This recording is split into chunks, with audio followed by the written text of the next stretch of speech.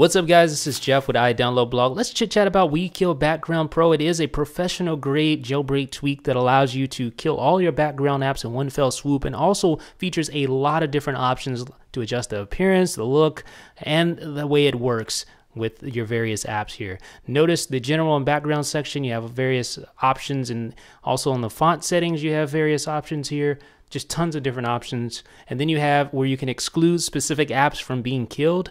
Then you have the extras option, which has a bevy of different settings there as well. So quite a robust jailbreak tweak that you have here for $1.99. It is WeeKillBackground Pro. Now watch what happens. You see WeeKillBackground Pro in the notification center. Just tap to close apps. Now I'm just going to show you that I do have some stuff running here in my app switcher. I'm going to swipe over. You see more stuff there. So let's go ahead and tap that button in the notification center. Tap to close apps. Just tap it like that and it's done. Now watch what happens when I open an app switcher. Only one app remains and that is Reader. Why is that? Well, that's because Reader is an excluded app. Notice what happens when we go to the settings panel and we'll go to excludes app, exclude app, sorry.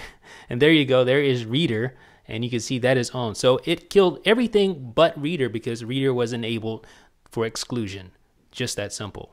And you can do multiple apps like that if you want to do that as well. Now let's check out general and background. You see the widget height and all these things happen on the fly. That's what's really nice about this. I can actually adjust the height, make it really small, all on the fly, no respringing required. And you can see I can make it really big if I want to do that. And you can change other things as well. Let's change the info icon alpha setting here. And that little info, oops, the little info button you'll notice when I open up Notification Center. See that little info button? See how the alpha, it's kind of almost transparent now. You can see it's almost completely gone. And then if I turn it all the way down, it just completely different disappears. So even down to that level, you can adjust this thing. And then you see clear background, you notice that there's no line outlining the background. If I put default background, you can see it has a line there. So Lots of customization options, and it doesn't end there. You also have custom background image you can enable and stuff like that. Now, button label also allows you to customize it. You can change the normal text, change the closing text, so when you actually close your apps and kill your apps, it actually changes to, you see it there, by.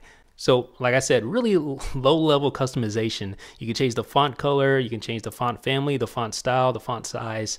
And then you have, of course, extras, which allows you to dismiss when pressed. So if I actually press that, it'll dismiss Notification Center altogether. And then you have some automatic options, close on appear, close on exit. So it'll actually close all your apps as soon as you exit Notification Center. Now watch this. I'm going to open some apps here. I have Drop Cloud settings open.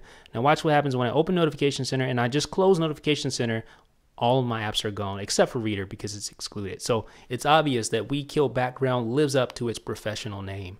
WeeKillBackground is available on Cydia's BigBoss repo for 99 cents. It does require iOS 5 and like I said, and like you saw, it's there's just a ton of options included in here to allow you to manage your running apps on your iPhone or iPod Touch. Let me know what you guys think in the comment section. This is Jeff with iDownloadBlog.